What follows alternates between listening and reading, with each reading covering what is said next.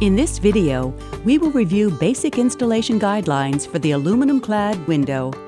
At this time, you should ensure the rough openings are square and your rough sills are level.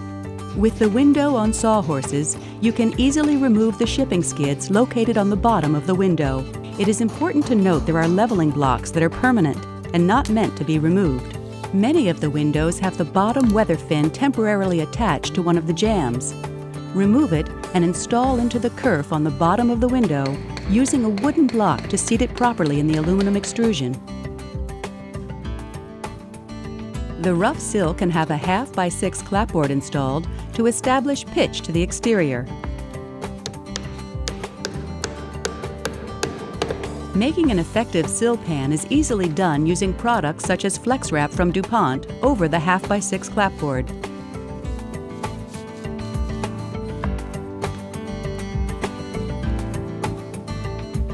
Go around the three sides of the opening with a bead of caulking that the back side of the weather fin will bed into. Be sure to continue the caulk joint around the lower corners. Do not go across the sill.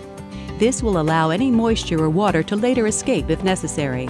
Place the window in the opening, ensuring that the back side of the weather fin is making positive contact with the previously applied bead of caulking. Shimming begins at the sill. Okay, the right side needs to go up a good quarter. That's good there. A few roofing nails can be tacked in, but not driven home, to hold the window in place while it is being shimmed and leveled. Next, use shim packs 3 to 6 inches up the jamb, at the center point, and 3 to 6 inches from the head to ensure the window is plumb, level, and square. Self-tapping trim head screws are ideal for securing the window through the jambs, shim packs, and into the jack studs.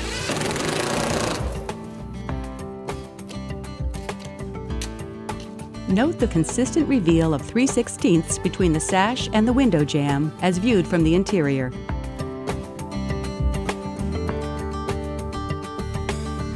Once the window is plumb, level, and square, you can finish nailing off the weather fin with roofing nails. The window comes with self-adhesive pads that go over the corners of the weather fin. Apply the vertical pieces first and hold the window side edge of the flashing an eighth to a quarter inch overlapping the aluminum jamb. Next, the head flashing is installed over the factory supplied drip cap.